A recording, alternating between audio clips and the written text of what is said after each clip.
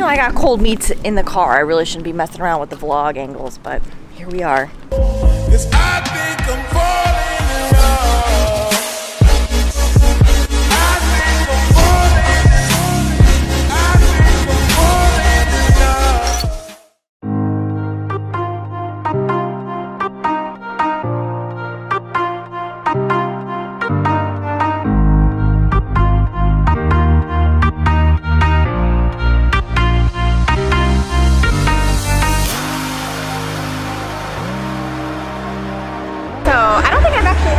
On a Friday morning weightlifting before, but it's kind of fun. I have a complex of two cleans, two front squats, and two jerks. Uh, then I've got just some snatch lift off and snatch pull, followed by some gymnastics, strict muscle up, handstand holds, and a quick little 10 minute EMOM, and that's gonna be the morning session. Uh, the evening session, I'm gonna put it right here because it's, uh, yikes, that's all I gotta say for that. But that's for later. So right now we just got some weightlifting gymnastics, and I'm excited, it's feeling good so far.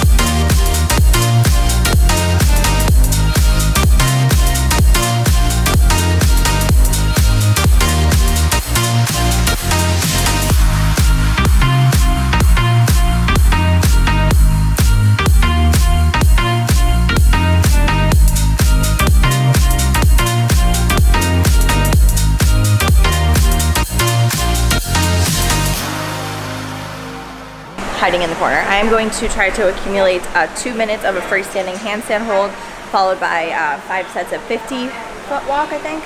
Yeah, five sets of 50 foot walk, and then my EMOM, and I'm done for the morning.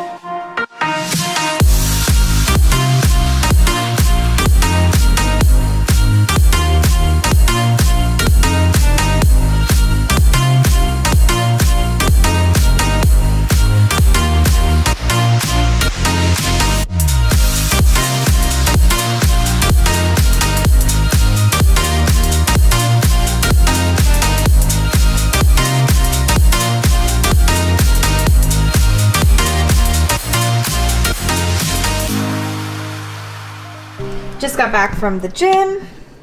Check it out, barbecue chicken in the crock pot. I put a little bit of extra Trader Joe's um, barbecue seasoning in this today, but this was perfect because it cooked while I was at the gym, and now I can make my lunch before my uh, facial. Hi there! How's your belly doing? Oh, he's okay. So before I go and take a shower and just change and everything, I'm gonna shred up this chicken because I am gonna have this for lunch. And something I was thinking about as I was coming up with the title of this video for today and kind of what I wanted to talk to you guys about was micros. And I realized that I've actually never made a video on my channel about micronutrients or talked about um, how to make sure that you're getting proper micronutrients how do we even know if you're tracking them? And so I just kind of figured I would talk through some of the things that I personally do and also show you in MyFitnessPal how you can sort your day um, based on which micronutrients you have the most of and which you have the least of, and then kind of apply that to your own goals. So you guys know I already plan my days out in advance, right? When I go to the bottom of your diary page, there's a little pie chart here that says nutrition. You just click that and there's three tabs at the top, calories, nutrients, and macros. The macros one, you can sort by highest in carbohydrates, highest in fat, highest in protein. But if you go to the nutrients section and you scroll down, here's where you'll see your micronutrients. You have cholesterol, sodium, potassium, vitamin A, vitamin C, calcium, and iron. I don't necessarily have like specific goals for these. This is just what's in MyFitnessPal. But if you click on each individual micro, it will tell you which foods you ate during the day um, that were highest in each specific micronutrient. So for cholesterol today, the egg that I had, the chicken, lean ground meatballs, the protein, and then the turkey bacon that I had with my breakfast this morning. And you can go through and do this literally with every single micronutrient as well as macronutrients. Today for potassium, I'm a little bit lower than normal, but good thing Japanese sweet potatoes have a lot of potassium in them. That's kind of why I take the time to you know, swap out different things because I could have put this chicken on bread or something like that. And while there's nothing wrong with that, it's just a better way to sneak in some extra micronutrients. Um, and I'm also gonna throw some broccoli slaw in there. Why am I so out of breath? The Japanese sweet potatoes that I have prepped and I'm gonna pop them in the toaster. I put the chicken in there. I'm gonna put four ounces uh, onto my plate so I can assemble my sweet potato toast. I'm gonna do a little bit of this guacamole to keep the broccoli slaw on, just like this. Then I'm gonna assemble my chicken. There we have it, a super easy lunch, sweet potato toast with shredded chicken and cheese. And you know, you can click on each individual thing as well. I'm sure you guys know this, and see what kind of micronutrients it has. Something that a lot of people do, especially when they're just getting started in macros, is kind of like tunnel vision on the macros, right? And they're only thinking about protein, carbs, and fats. But the quality of our food is also really important as well as your micronutrients and other things that affect your body in other ways, like sodium, which we'll talk more about later in the video. But for now, I have to eat this and rush out because it's time for my facial. Um, and I'm excited to talk to you guys about that as well because I'm getting microneedling done today on my face. Kind of nervous, uh, but I'll keep you guys updated and I'll see you there.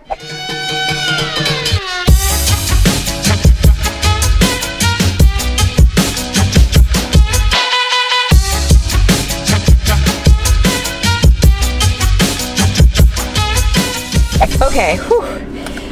My face is like, a, oh, so much just happened. I ended up not getting the microneedling. Um, Katerina, my facial girl, she's been doing my facials for a long time. She said I really didn't need it today. She would have rather focused on like what my actual issues are with my skin. And during the summer months, I think I've mentioned this in videos before, like my forehead and my T-zone gets so congested because I sweat so much from being in and out of the gym all day. I just get very congested. And so we ended up just doing a deep pore cleansing facial with microdermabrasion.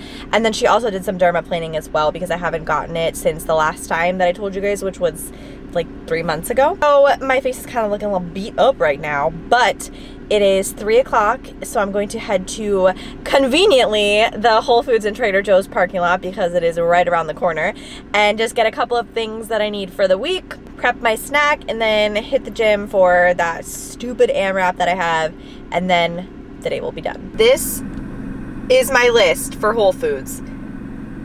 Chicken thighs, ketchup, microgreens, and yogurt. Do we think that I can just get the four things? Stay tuned. Actually forgot to add the um, Japanese sweet potatoes. I almost only got what was on my list. This was the only extra because I saw this on somebody's Instagram and I wanted to see what the hype was about because vanilla shortbread sounds good. So it's pretty decent. I got everything that was on the list. Now time for Trader Joe's.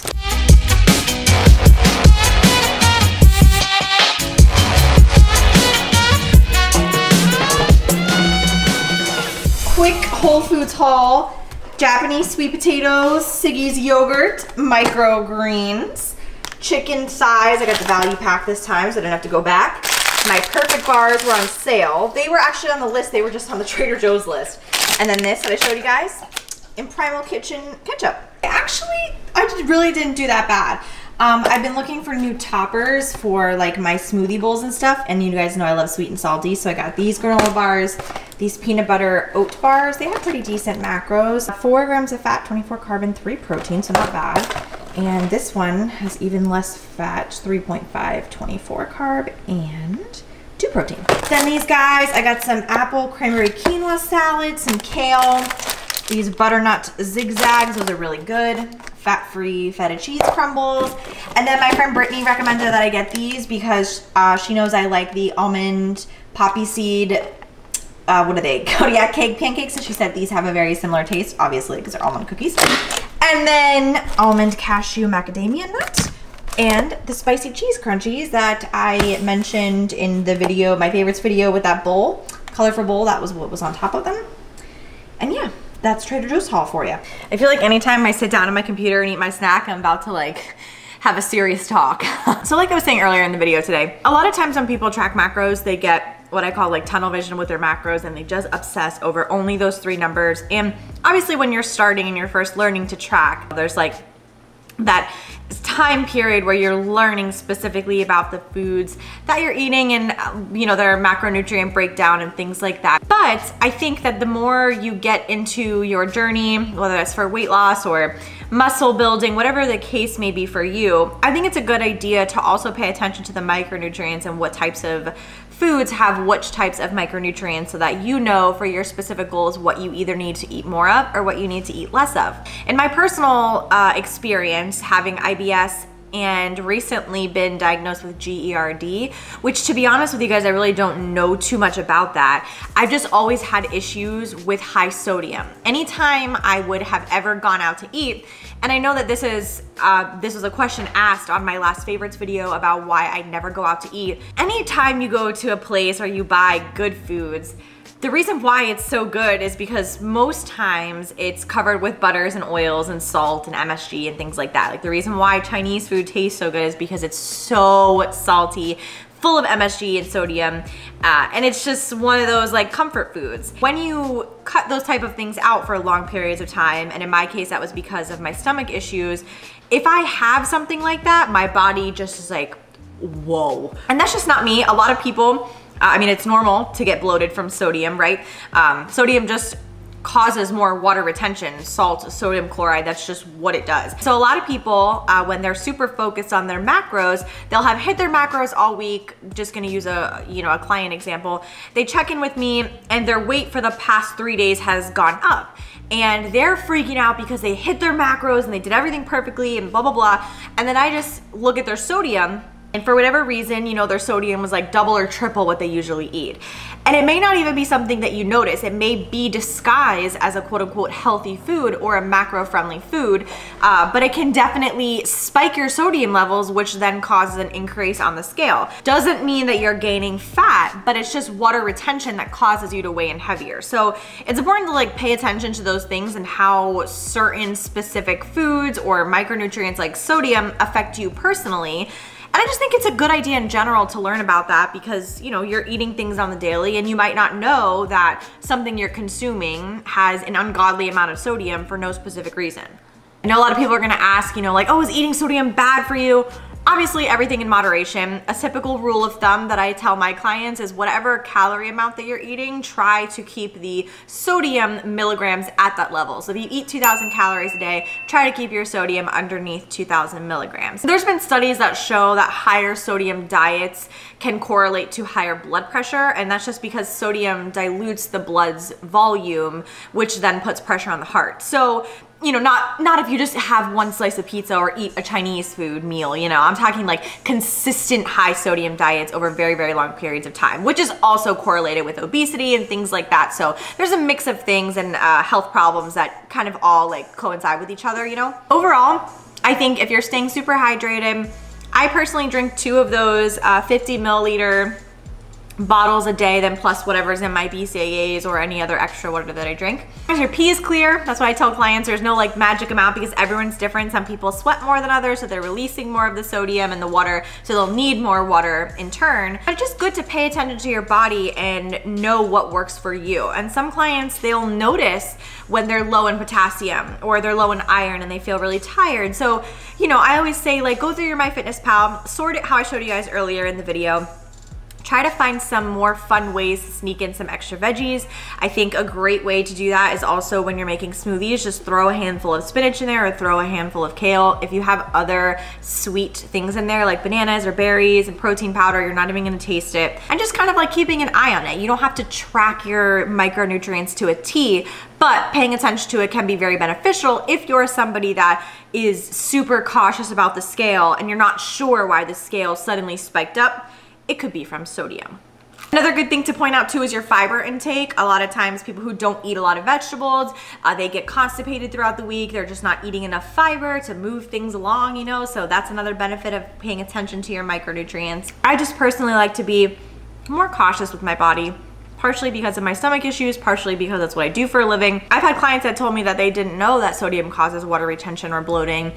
Even just feeling sluggish, right? Like if you've ever gone on vacation and you eat like crap for a week straight, you come back and you feel like so exhausted and it's it's amazing. Like the food that we put in our body truly, truly has an impact on how mentally we feel, emotionally, physically, so many different things. So that is why I personally think you should broaden your horizons and not just focus on the macros, but the micros too. With that being said, my toast is done. I am going to let this digest. I have to do some homework, some client check-ins, and then I'm gonna hit the gym. So let me know in the comment section below, do you personally track your micronutrients? Are you just a macro only? Do you eat vegetables? Do you not eat vegetables? Do you have a hard time eating vegetables? Let me know. So thank you guys so much as always for listening to my rambles and watching my videos. I love you so very much and I'll see you in my next video.